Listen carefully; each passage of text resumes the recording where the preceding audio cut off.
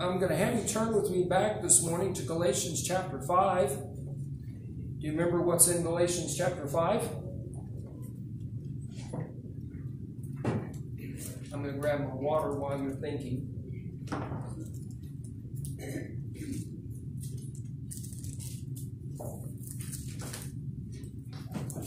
Galatians chapter 5 is one of those landmark passages of scripture that should be almost as familiar to you as John 3:16 or the 23rd Psalm.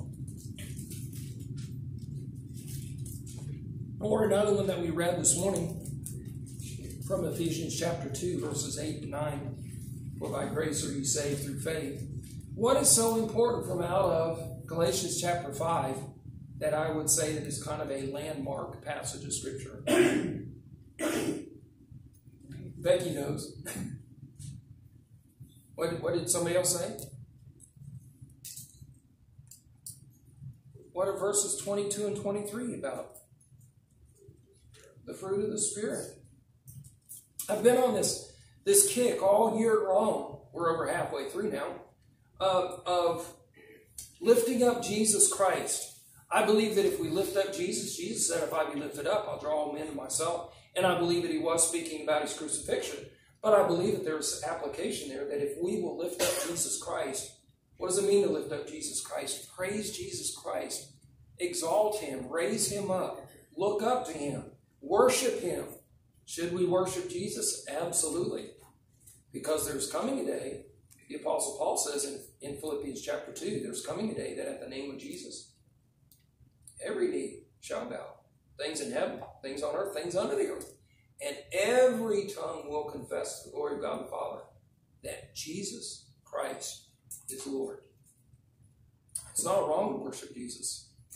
In fact, you can read over in, in Revelation chapter 5, uh, chapter 4 of Revelation is when John is actually transported up to heaven and he's given a vision of what things look like up in heaven. He sees God on the throne, he sees the four beasts, he sees the 24 elders around the throne. He also sees that there is a scroll that nobody can open, and it's sealed with seven seals. And when it's found out that nobody can open it, John starts weeping.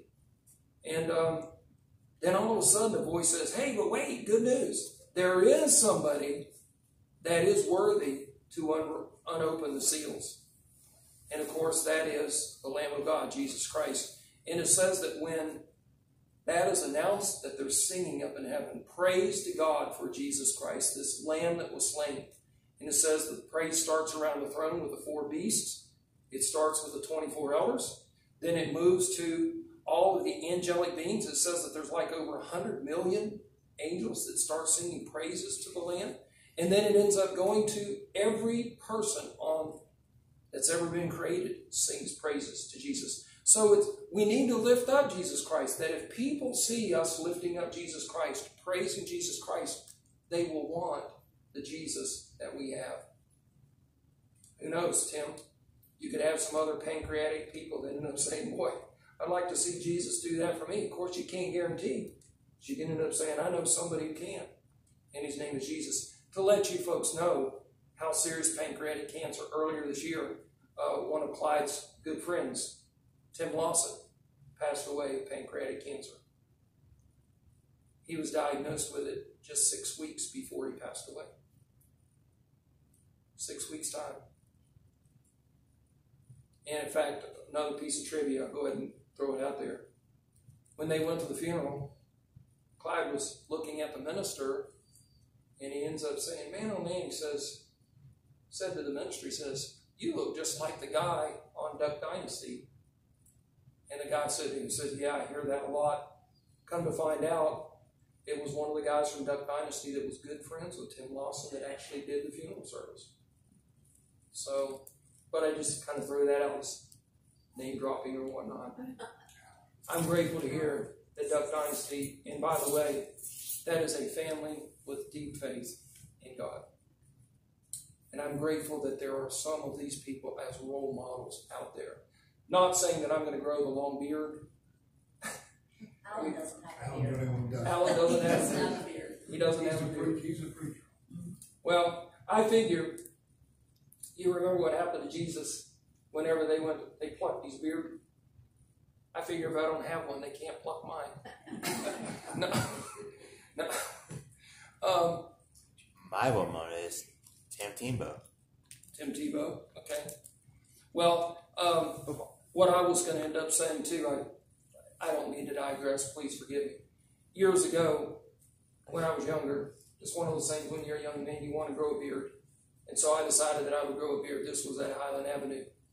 And so I, I grew a beard and I went to church and uh, I announced to the church, I said, in a continuing effort to become more like Jesus, I decided to grow a beard. And one lady sitting in the church was not impressed and she shot back at me. She says, It's always so much easier to change the outside than the inside, isn't it? Burn. um, well, at any rate, we'll get back to the message. The Apostle Paul wants us to lift up Jesus, that people might come to know Jesus, whether it's their need of a physical healing or if it's a person that's needing Jesus to forgive them of sins. We need to lift up Jesus. And I've tried to give you all, all year round reasons of why we can lift up Jesus. And I started these messages, oh, I don't know, must have been back uh, right after Easter. Because when Jesus ended up going back to heaven, he, just, he said to his disciples, When I go back to heaven, I'm going to do you a big favor. I'm going to send the Holy Spirit, the counselor, the comforter, in other words. And he's going to be with you. And there's several things that the Holy Spirit's done. And so we've looked at some of the things that we need to give thanks to Jesus because the Holy Spirit has come to do stuff for us. For instance, the Holy Spirit is the one that gives us gifts. You know, you talk about gifts of the Spirit. Sometimes we focus on speaking in tongues. We, we focus upon prophesying. We focus upon healing. We can focus on, but the Holy Spirit also gives the gift of encouragement. And that's one that I ended up focusing on. That means that you and I can end up being a Barnabas. What do you mean a Barnabas? In the New Testament, Barnabas, which means, his name actually means son of encouragement. Barnabas was the guy that when the Apostle Paul became a Christian, because prior to that, he had been a, a, a fanatic Jewish man and he killed Christians. Barnabas was the one that came before everybody else and said, Listen, God has definitely worked in Saul's life. You can trust him. And you and I have these gifts that the Holy Spirit gives us because God wants us to lift up the name of His Son, Jesus Christ. Everything that we're going to have comes from Jesus Christ. If we're going to go to heaven, it's because of Jesus. In fact, I'll, I'll go even further. Jesus is the reason for everything. If you go back and read what Paul wrote to the church at Col- Colossae, in Colossians chapter 1, it says, By Jesus all things were created, and by Jesus everything exists. And I know that some people say, Well, I thought that God created everything. What does it say that God did in Genesis chapter 1? It says, In the beginning, God created the heavens and the earth. Yeah, it does say that God created. But how did God create it? God ended up speaking these things into existence. He said, Let there be light. There was light. When you speak, what do you use? Words. And that's where gospel writer John comes along and says, Jesus is the Word. In the beginning was the Word. The Word was with God. The Word was God. The same was in the beginning with God. Jesus is that spoken Word of God, and Jesus is the one that we have everything. If we're going to go to heaven, it's because of Jesus. We need to lift up the name of Jesus. Well, looking at Galatians chapter 5, when Jesus gave us the Holy Spirit, Jesus said the Holy Spirit is going to start doing some things within your life. And so this is, I think, the third week this year that I've preached from this. The Holy Spirit wants to produce fruit within our lives. Some things within our lives that are good. And I told you folks before, I like fruit. In fact, I love fruit. I've got in my refrigerator at home some cherries right now. I've got some strawberries. I've got some blueberries in my freezer. I mean, I love fruit. I think I just ran out of my grapes. But I, I eat a lot of fruit, partly because it's sweet, but also because it's nutritious. The fruit that God gives is stuff that is sweet and it's nutritious. This is stuff that is appealing to people and it's also something that is good for people. The, the fruit of the Spirit, these are the characteristics that the Holy Spirit wants to produce within our lives. And I've already spent time on the first four. The first four are the fruit of the Spirit is love. The Holy Spirit wants to produce within us love. Love for who? Love for God and love for others. The Holy Spirit, and if you will, you and I will love God more and love others more. I tell you what, we need more people like that in this world. Amen. The Holy Spirit will produce love. The Holy Spirit produce joy. You and I can find joy in living. I told you here, I think it was two weeks ago, because last week's message was Fourth of July message. But I said to you two weeks ago, joy has not to do so much with happiness. Happiness is dependent upon happenstance, the things that happen to you. Joy comes from a deep inner feeling that it doesn't matter what happens, all is well. And I use the illustration of Horatio Spafford, who lost his family at sea. And yet he went back to his cabin and he wrote down the words to the song, It Is Well With My Soul. He had down inside of him a joy that no matter what happened, he knew that all is well. I could use as another illustration about a man, and I know that I've used this in the past, but about a man who uh, all of his life had been consumed by his business. That's what he lived thinking about morning, noon, and night. He just, everything was about making money and growing his business. And it was about to destroy him. Until one day somebody told him about Jesus. And the man decided, you know what? I'm tired of all of the stress and stuff I'm putting myself under. What I really need is Jesus. And the man gave his heart to Jesus. And the people thought to themselves, I wonder what kind of a difference it's going to make in the man. Shortly after the man gave his heart to Jesus, the man got a call in the middle of the night that the business that he'd worked so hard for was burning to the ground. And the man got out of bed and hurriedly threw some clothes on, put his shoes on, and went down to the business. And he stood outside, and people were amazed as they stood there and they looked at the man. That rather than being upset about what he had worked so hard investing his life in, that the man was completely under control and actually seemed to have a peaceful look on his face. And the people says, we don't understand. What in the world is going on? That you can end up reacting the way that you're reacting with your business burning down. And the man ended up saying, he says, this were his words.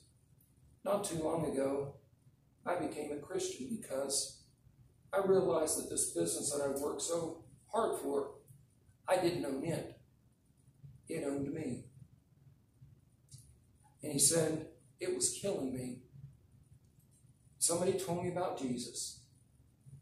And I came to Jesus and I gave him not only my heart, I gave him everything that I own. You see, I don't own that business anymore. And if Jesus wants to burn down his business, what difference does that make to me?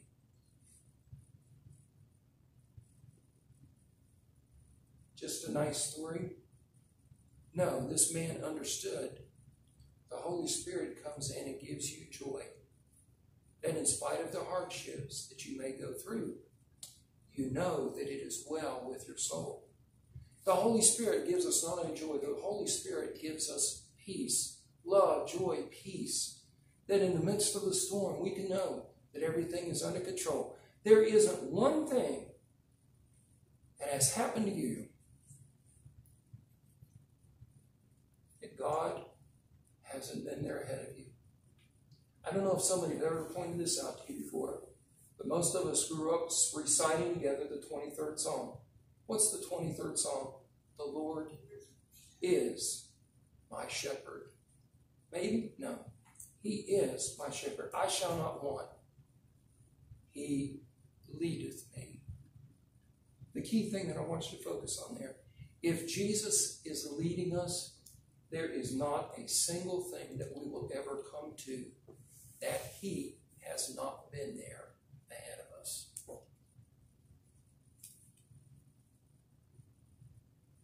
And if He's leading, you can rest assured He's got us in His care. And that's what the psalmist goes on to talk about. So we've got love, joy, peace. Another thing that the Holy Spirit wants to work on within our lives. You remember two weeks ago, Dorothy Schaefer was back for the first time. She had her son-in-law and her daughter with.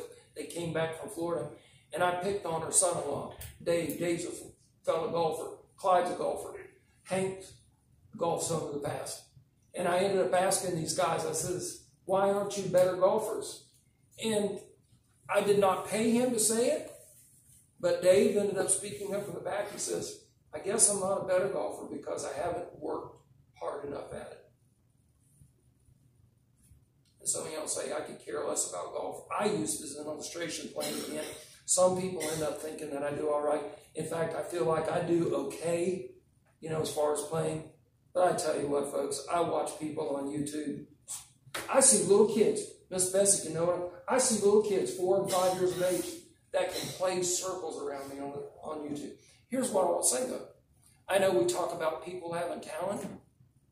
All of those little kids, when they came into the world, they didn't know how to move their fingers the way that they move their fingers.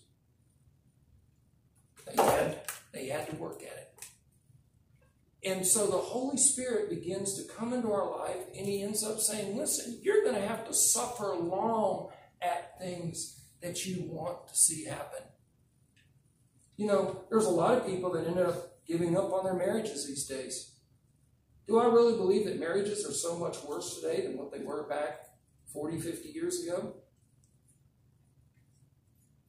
I'll tell you this much. Back 40, 50 years ago, a lot of women were physically abused. A lot of women were physically abused. And there were no police to go running to it was one of those things that silently went on in the homes of a lot of women. I see Becky shaking her head. You talk with the older generation. There was a lot of women that put up a lot of things in their home. The women today. And I'm not saying that it's right. I'm just telling you that in the older days, people ended up saying, guess what? Marriage ain't perfect, but we'll work through it. I know some people say, preacher, just shut your mouth. You're single you don't have the first clue about marriage. I'm just telling you from my observations. People that ended up being married 50, 60 years, they work through a lot. They realize that marriage takes a lot work. Long suffering. One of the things that the Holy Spirit does within the life of a Christian, He ends up putting in your heart don't give up. And I told you when I preached that message, I said the Apostle Paul, when he went out trying to start churches, what did he do? Get a big reception? Oh, the Apostle Paul's here. He's going to start a church. No, time after time, the Apostle Paul got beat down. You can read about it in 2 Corinthians chapter 11. It said five times he got beat with a whip, three times he got beaten with rods. One time he ended up getting stoned. He got shipwrecked time and time again. Did he give up? No. Why didn't he give up? Why? Why? Because the Spirit of God was in his heart. And the Spirit of God says, No, Paul, don't give up. It wasn't that the Apostle Paul was a hard head. It was that when you are under the conviction of the Holy Spirit, you are not allowed to give up.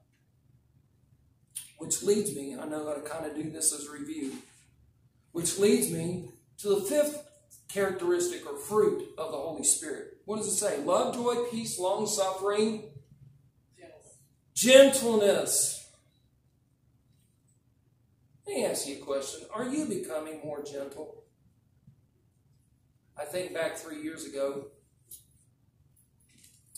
my, my dad is, has done an incredible job with my mom.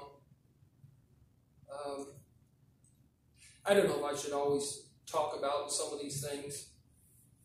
I know that I talk a lot about my, my parents, of course. I know that your parents do too. Mean a lot to you. I admire my mom's courage. She's been uh, taking now for over a year lactulose. That doesn't mean anything. Any of y'all ever prepped for a colonoscopy? Any of y'all ever done that? They give you that medicine, and, and what it does to you, that's actually worse than the procedure itself, isn't it? Because when you get that stuff in your system, it violently empties everything inside of you. My mom basically preps for a colonoscopy three times a day, seven days a week. She has been doing it now since a year ago in April. And I will tell you what, that stuff works violently. Mom, I don't mean to make you feel uncomfortable that you should watch this video, but you can sit with her at the house after she's taken that stuff. And I mean, I think you could hear her stomach roaring and rumbling from the other end of the house. You say, why does she have to take it? And we don't know if it was the chemo or if it was maybe the disease that she has. Something got affected with her liver so that her liver does not filter out ammonia. Your body has ammonia that it has to get rid of. And if the ammonia isn't gotten rid of, it can cause severe confusion, which is what we noticed a year ago in April. My mom was just kind of walking around with a dazed look on her face, and she didn't know her name, and she didn't know us and whatnot. And so they did the blood work, and they found out that her ammonia level was really too high. And they said, the only way that we know to do it is to give her this stuff, and somehow that ammonia will bond to this chemical that's in the medicine, and she can flush it out of her body that way. So that's why she's taking it. Some people are on this stuff for years.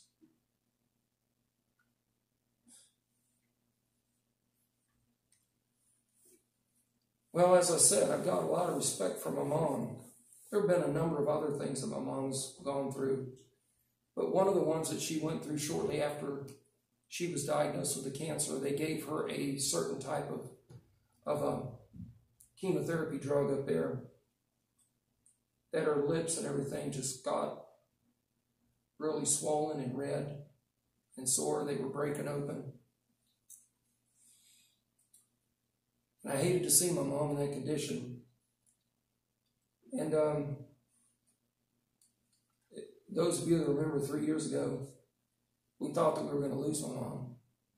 And so I spent as much time as I could with my mom. And um, she was there in the bed one day, and it's something that I'd never done before. But she had all of this scabby, crusty stuff on these on her lips. They were all swollen and sore and stuff like that. And so I went over to her and I says, Mom, can I help you in getting some of that stuff? Because you know how it feels when you get this stuff on your lips.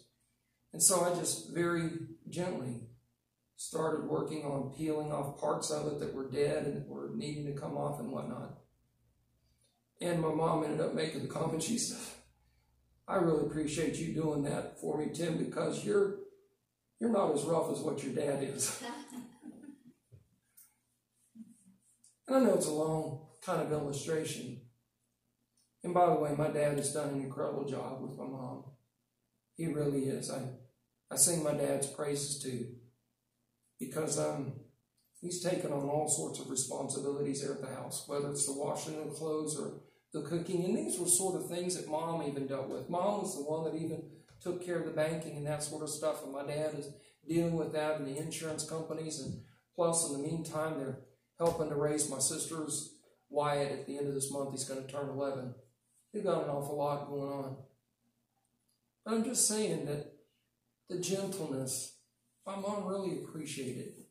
I think about my mom's sister, my Aunt Kate, that died two years ago on Valentine's Day. The last time we were down there seeing my aunt, my aunt was there at the house, but she needed to have the home health people come in and my aunt had told my mom, said, there's this one lady that comes in, she's a black lady, said that she comes in and she's the one that helps me take a bath. And she says, I always look forward to this lady coming in because she's gentle. And it reminded us about both of these stories that the Holy Spirit wants to work within our lives to teach us how to deal with people gently.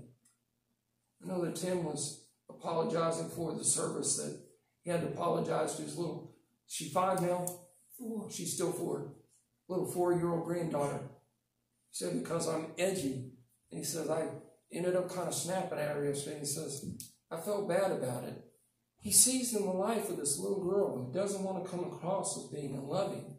He doesn't want to use an excuse. And I want to tell you, folks, because the Holy Spirit is living within your life, the Holy Spirit should be working in you to help you to be gentle in the way that you speak with people, in the way that you deal with people. Diane. I'm sorry to interrupt you. No, don't. A couple weeks ago, I had a patient in the hospital. An elderly gentleman who was very sick. He had a lot of respiratory issues, severe. And he was my patient, and he told me that he wanted to change his code status to a DNR and not to do anything else except what they were doing right now. So I spoke with this man, and it's a little touchy subject with religion anymore and as, a, as an employee. And I just asked him if he was good with Jesus Christ. He said, absolutely. He goes, I am completely good. He goes, my spirit's good. I have no fear whatsoever of dying. I've had a great life. My family's in agreement with what I'm doing. And he had the kindest, gentlest personality. People loved him. Our floor loved him. He was just a gentleman. And he did pass away a couple days later. It even means a lot to the healthcare professionals because they deal with many times people in the hospital that are used to getting answers and service and everything immediately. And, and gentleness is one of those things. This is a fruit of the Holy Spirit. The Holy Spirit should begin convicting you and I when we are unkind to somebody. The Holy Spirit wants to develop within us a willingness to have feelings of what the other person is going through, that we care about them. What is, what is the golden rule? Do unto others as you would have them do unto you. If you'd want someone to be kind and understanding to you, then be kind and understanding to them. And the Holy Spirit, we need to praise the Lord that the Holy Spirit is working to make us into gentle people. Oh, I, I don't have time to go through anymore. But let me say to you, the Holy Spirit resides in us. When we come to Jesus Christ and we ask Him to forgive us of our sins, Jesus says, I will not only forgive you of your sins, but I am going to send my Spirit. The Holy Spirit seals us. You read that in Ephesians chapter 1, I think it is the 13th verse, that we are sealed. That means that we are marked as God's property, that we will always belong to God. Nobody can ever remove us from belonging to God. Uh, Jesus even used the terminology in John, I think it's the 10th chapter, that nobody can ever come and snatch us out of the Father's hand because we are His. The Holy Spirit not only does that, but the Holy Spirit comes in and He says, Let me begin changing you into the likeness of Jesus so that you can be more loving, so that you can be more patient and peaceful, so that you can have more joy, so that you can end up learning to be gentle. How many people have ever come to Jesus Christ and Jesus, in speaking about this gentleness, how many people have ever come to Jesus Christ in their sin and their brokenness, and Jesus looks at them and says, Are you kidding me? Look at the mess that you've made of yourself. My, oh my. Why did you end up doing it? Why do you think I'd want anything to do with you? Is that the way that Jesus responds? Or does Jesus end up saying, I've been hoping you'd come for a long time because it's actually hurt me more than it's hurt you, seeing what you've had happen in your life. It's a gentle response, it's a welcoming response. And Jesus wants His Holy Spirit to begin producing within our lives these characteristics that are characteristics of the God that we serve. As people see God at work in us and through us, they will want the person that we serve. And we can tell them about Jesus.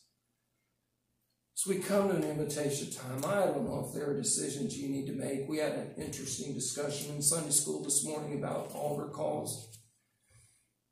If people feel led to come to the altar, I want them to come to the altar. Realize at times if the Lord is speaking to you, if you respond outwardly, it can be an encouragement to somebody else. My prayer every Sunday morning is, that, Lord, I pray that you will use the message within our lives to change us, that we might become like Jesus. And when we come to the invitation time, it's a time for us to reflect upon our lives. Lord, was there something in this message that I felt like that you were speaking to my heart about? Help me during this time of invitation to do what you're asking me to do.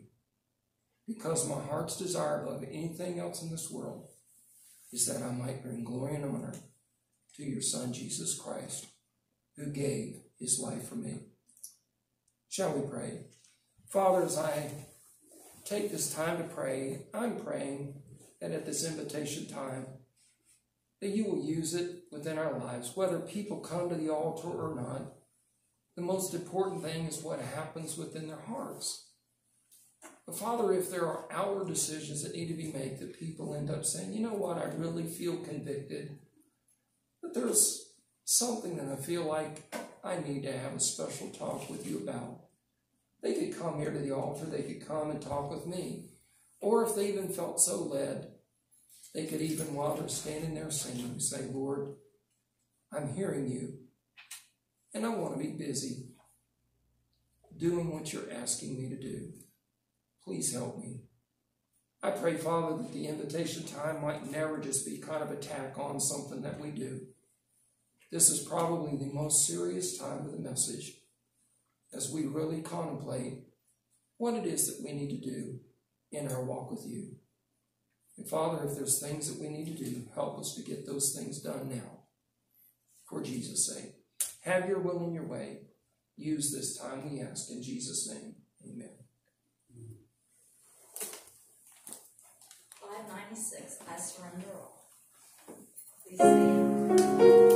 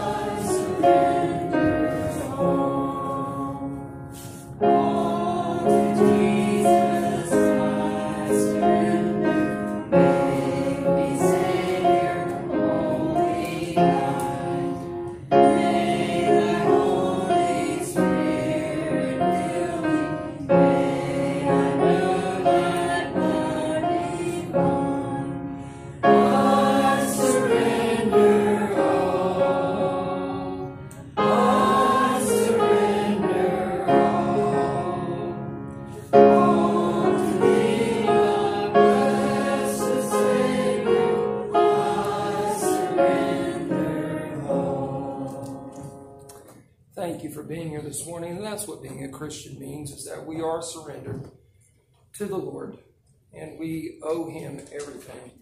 Are all hearts and minds clear? Anybody have anything you'd like to say? Thank you for being in the Lord's house. If you're able to be with us again tonight, we'd love to have you. Um, we've been going through Jesus' sayings in the Gospel of John, telling us the truth. What is the truth? Truth gives us right beliefs. Right beliefs lead to right actions. So if you're able to make it, please come. All hearts and minds clear? then let's be dismissed with closing word of prayer. Tim, we rejoice at your decision. Would you end up, um, or what the Lord has done for you with regard to morphine? Would you lead us in a closing prayer? Appreciate that. Dear Holy Father, I want to thank you for everything you've done for each and every one of us. I pray that you will keep us in your will and that your will will be done in our lives. Take away the pride and the things that shouldn't be in our lives so that we can be more like Jesus. In Jesus' name I pray. Amen. Amen.